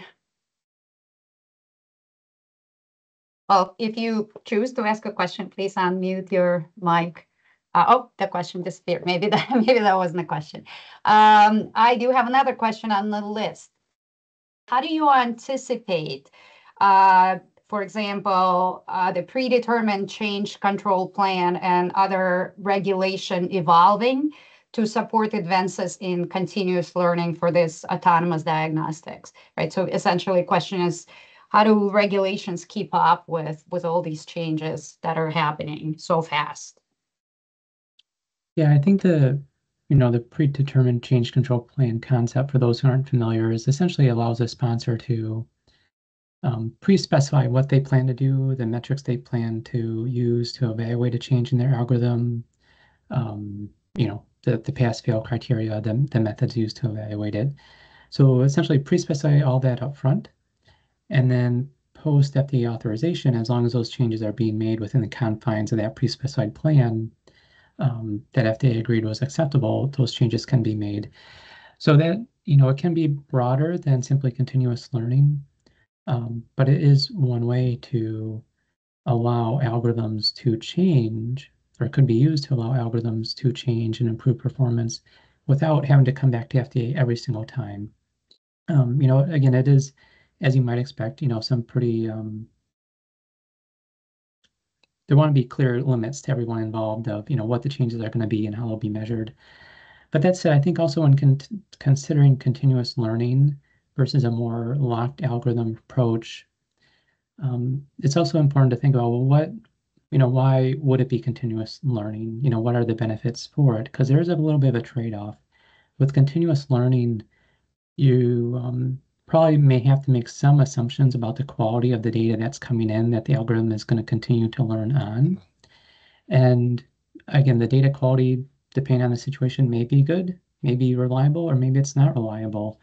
Um, and that can be compared with having perhaps a locked algorithm where the data is collected, maybe sent to a centralized location where there is some quality control placed on it. And then that higher quality data can then be fed into um, retrain the algorithm or allowing the algorithm to you know be retrained in a controlled manner tested mm-hmm.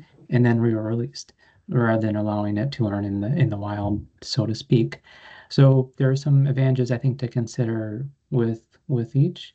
Um, and actually right now i think we're seeing more of an interest in uh, an approach that's more sequential. Data is collected algorithms are retrained you know to ensure it meets certain specifications then it's being re- released um, as opposed to trying to monitor and, and deal with a continuous learning algorithm. Mm-hmm. But it, it's not um, prohibited for an algorithm to be continuous learning. If someone is interested in doing that, you know, they're you know encouraged to engage with FDA early to learn and discuss um, or send a proposal of what how they would um, allow the algorithm to learn and what controls they place on it. And I could chime in on that too. Um, note that, uh, again, this is all yet to be determined, but something to consider is is your improvement, whether it's sort of a sort of a step, you know, stepping stone approach or a continuous thing that's always going on in the background.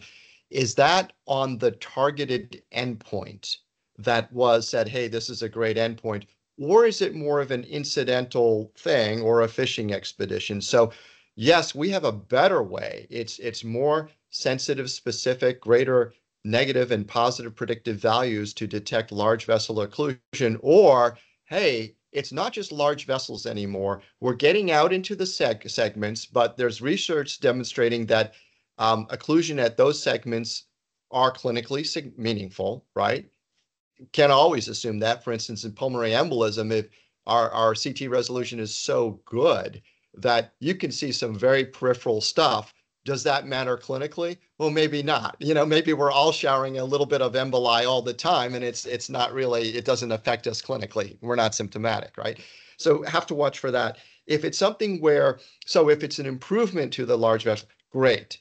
If it's not, if it's, hey, we're also seeing uh, calcium in the coronary arteries, okay, that's great. So can we get paid for this and for these three other things that we're seeing when we're doing the imaging for this large vessel?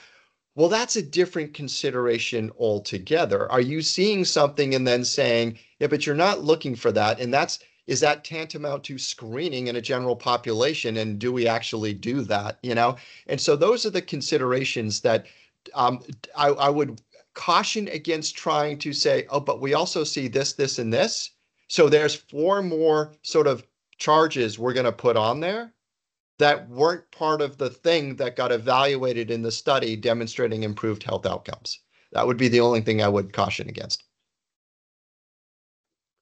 Nabil, Thank did you you. have your hand up? Who does? No, I just want to, I just want to say uh, for, uh, I think the attendee, if they want to ask a question, they are muted. Uh, For example, Devin wanted to ask a question, he can write it down. If, if I may, Olga, um, ask another question. I don't mean. Of monopolize. course. Um, so one of the one of the problem basically an imager one of the problems uh, we come up with is the diagnosis of an image does not necessarily lead to an outcome Mm. uh, making the diagnosis uh, for instance of something that's untreatable um, so so is the criteria for approval and reimbursement of an image uh, always contingent upon changing the outcome? Or can it be in, in, for instance, establishing a diagnosis or Mhm. assessing the severity of the problem? Mhm. Yeah, that's a great question. And what I would argue that, and what we have stated explicitly in, you know, it's in print out there, national coverage determinations addressing that point. You can get a, C, a, a, a CT, an MRI, something, uh, some sort of diagnostic could be indicated, even if it doesn't lead later. So, so in the example you gave, what if the C, what if a person has cancer and you know, a combination of PET and CT is determining that this is stage four metastatic disease.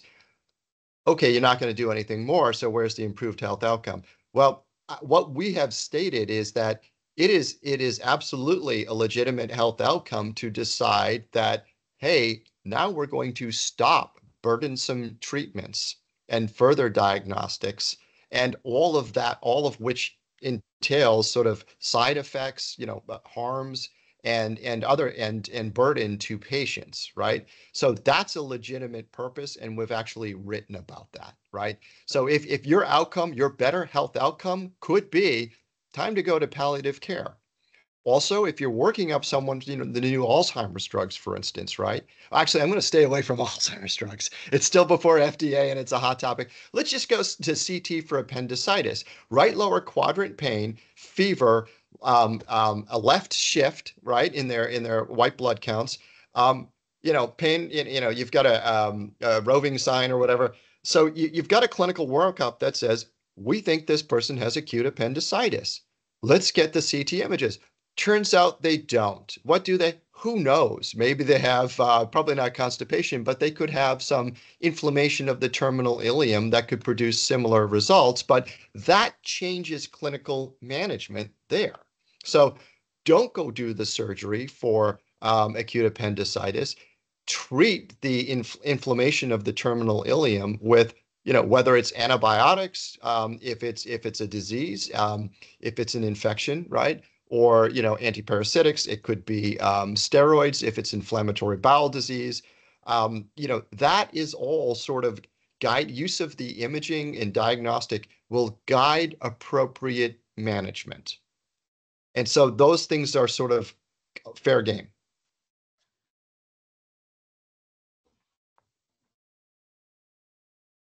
Thank you. Uh, we do have two hands up, so Devin and Jim, if for some reason you cannot unmute your mic in the system, please feel free to to write your question in the Q&A chat. I think that is working. And I will, uh, oh, yeah, I think it looks like Devin can unmute his mic. So please go ahead. Thank you, and apologies for the confusion there. I appreciate it. I wasn't able to, but it's working now. um, so, Dr. Ochs, going back to your comments on replacing the physician, that that was super insightful and not quite to replacing the physician, but I'm just curious. Like we're seeing um, some odd hospital economics here, where it's kind of affecting the makeup of staff and personnel where you know it can be hard to get nurses or technologists and i'm just wondering if you're seeing any kind of ai um, devices or applications that you know maybe they're not replacing the physician altogether but they're removing the need or training requirements or removing certain people out of the or um, just as an example for particularly for like technologists i would say. Yeah i would say in, in um, in general, because of staffing issues across the board in the healthcare system, I think there are innovative ideas that are coming up that may not be solely, you know, just to uh, replace mm-hmm. one person, such as a physician. Um, I'll give a few examples. So we we have, you know, cleared devices that are to help, you know, less experienced um, healthcare providers or, or users acquire ultrasound images that are at a, at a higher quality comparable to that of a trained sonographer, if I remember the, the indications correctly. So that'd be one example, and it's it's part of um, you know also thinking, you know, where could could some of the technologies be used to you know help you know, reduce the, the healthcare burden. Separately, the center has an initiative, I believe it's called like Healthcare at Home, that has launched recently, where they're thinking too about, well, what technologies might actually be able to make their way into the home. Um, and so you're not going to see a CT scanner in a home. You're not going to see uh, MRI in the home.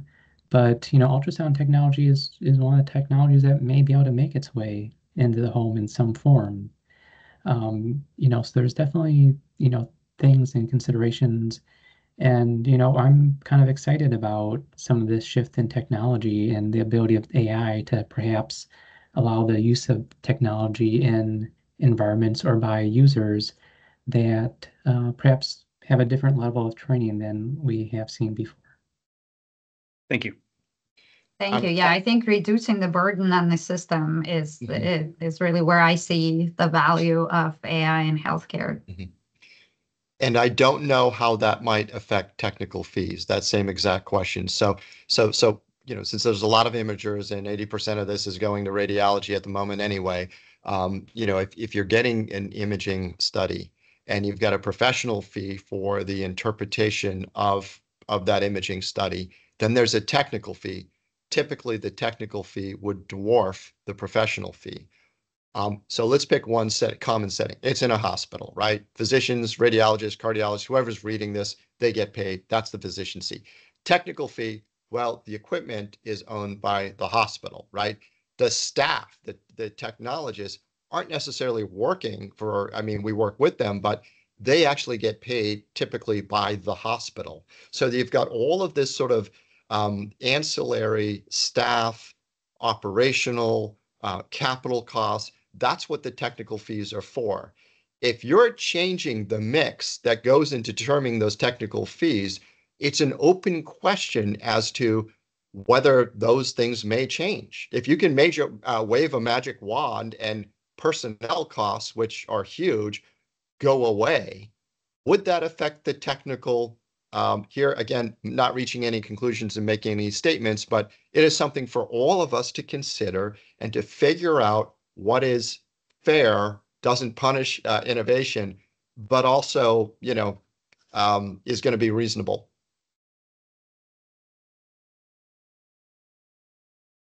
Uh, one more question from the audience. Jim, I see your hand is raised as well. Yeah, can you hear me? Yes. Okay, Hey, sorry, I had to go off on just phone, but I had a question for both, I guess, Dr. Ochs and Dr. Hutter. Like, how do you guys look at um, risk prediction, right? So, like Tony and I spent a lot of time in our careers trying to look at large-scale outcome studies to better identify folks who would experience certain adverse events, whether in valvular heart disease, heart failure, coronary disease, and so on. And particular to coronary disease, which is our focus, like, you know, more than half the people who will suffer a heart attack or die from one will not have any antecedent symptoms before their event.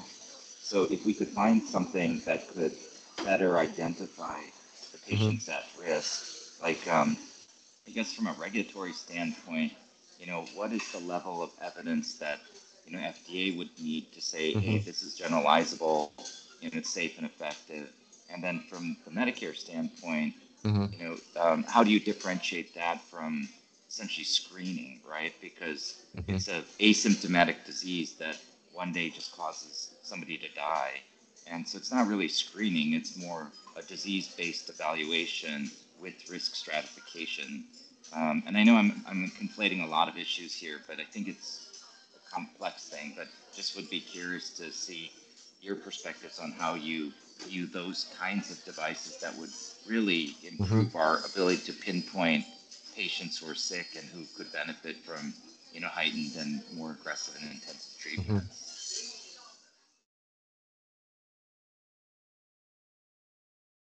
Yeah, I'm happy to to start. Mm. Think you can hear me okay. Um, yeah, the risk risk prediction is a bit of a challenging. Um, I see one of the biggest challenges is figuring out what study design and what population to use to validate the prediction score. Um, and then what makes it rather hard is is when you're doing risk prediction, it, it takes, you know, may take years to actually kind of tease out, you know, is that score that you assigned, you know, matching what happened years later? And, you know, also teasing out, depending on the situation and use, like, are there, you know, what are the confounders that may have happened in that, you know, period of time that could be, you know, make the prediction seem accurate or seem inaccurate? Uh, it's not necessarily always prediction, but it can come up perhaps if, um, you know, where we see it too is if, if, you know, there's analysis being done. Um, I'm thinking more like in vitro diagnostics, but something that says, oh, well, you should, you should, you're, you'd be better to, to get this drug instead of that drug. Um, you know, that can be really hard to, to validate of, you know, was that score actually meaningful? Did it make a difference?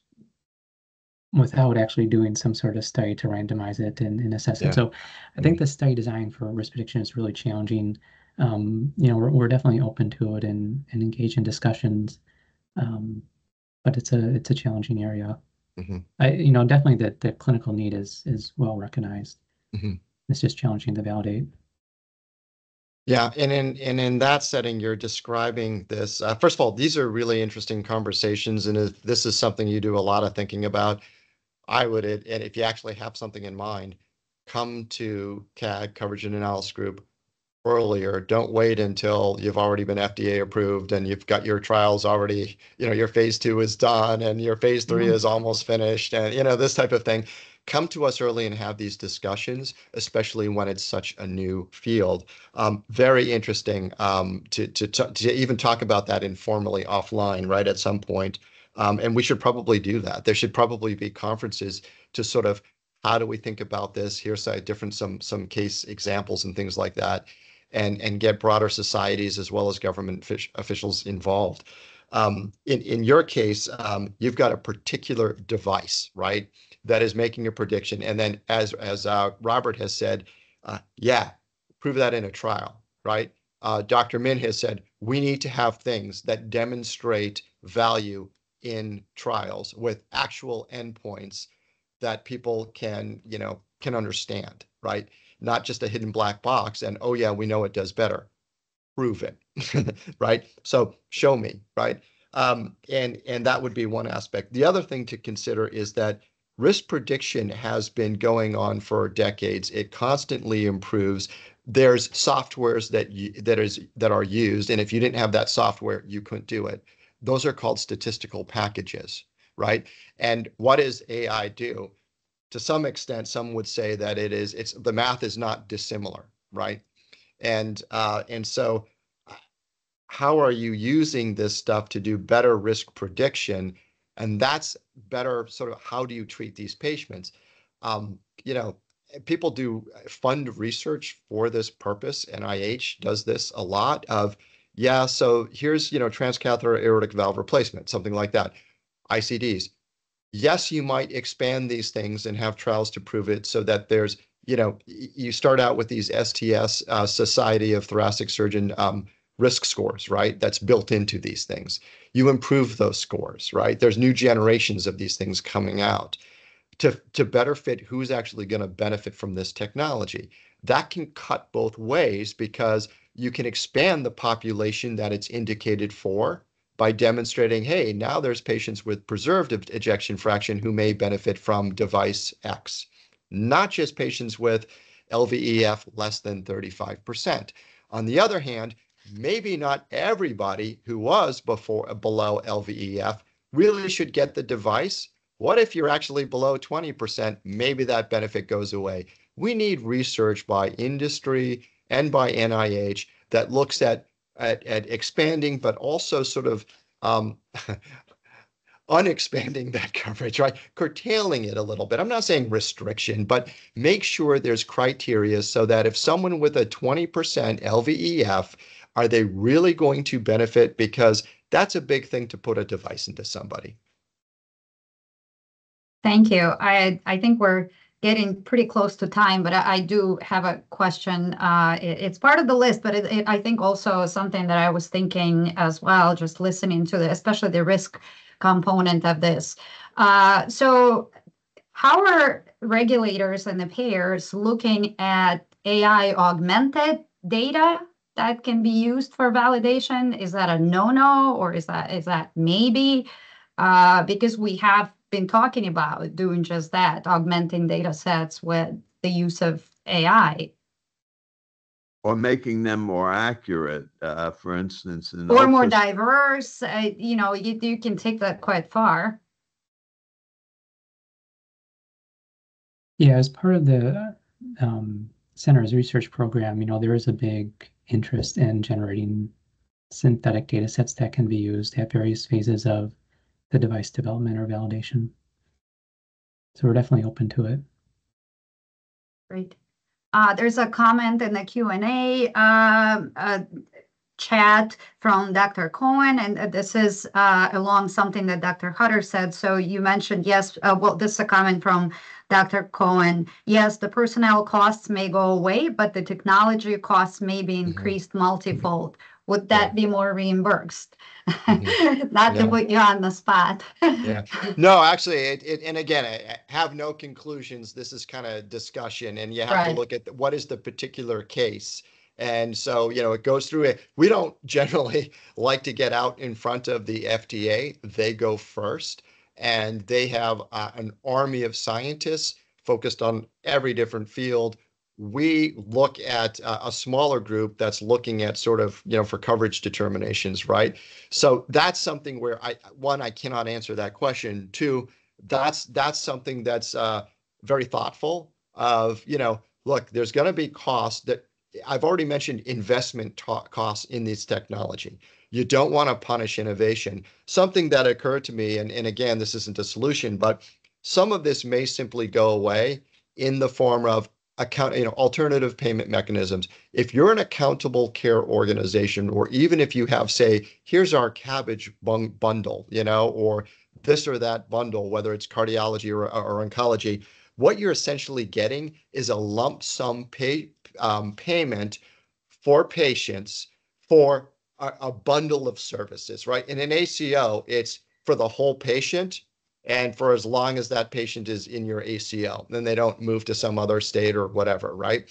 That could potentially solve a lot of problems because that gives you room to say, you know, you may lose some money on this patient and gain some money in this other patient, but over a hundred thousand lives or more or whatever, you're doing well when there's new technology or a new drug that uh, now doing something for severe that gets bumped up. That that global payment might get bumped up on that basis, but within there you're allowed to innovate. And so it's like here's, you know, you can improve outcomes by investing in technology, getting rid of some of your staff or retraining them to do other things, right? And you have a lot more maneuver in there. Whether you're getting this study and it's performed by um, you know, this ancillary person or this ancillary software program is less of an issue, right? Here's your payment for taking care of that patient. So there could be a lot more room to sort of innovate freely uh, without getting sort of dinged for this or that. So fee for service has its benefits of things going up for this and that. But when you have inventions, in, in innovations like this, could it possibly go down? Right, like you're mentioning, and and uh, ACOs may may or may not be sort of one way to sort of we offload that detail to the health system to figure out. We don't micromanage it, and here's your global payment. Go do better care, and if you can do it at lower cost, that's great. That's that's the mandate for the innovation center. Thank you very much. I think we are at one, well, uh, we're on time or three minutes over. So I want to thank uh, our presenters, our panelists today for participating in this webinar. Um, excellent presentations, very timely topics. And uh, if the audience has any questions, please feel free to reach out to me. Uh, my email is emas at msoe.edu, and I'll be happy to answer any of your questions or forward remaining questions uh, to our panelists. And again, I thank everyone for participation. Thank you. Thank you. Bye-bye. Bye. Bye bye.